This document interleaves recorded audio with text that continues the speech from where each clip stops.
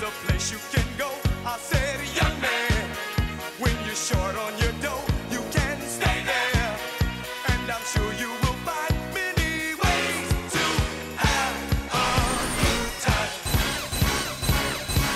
It's fun to stay at the YMCA.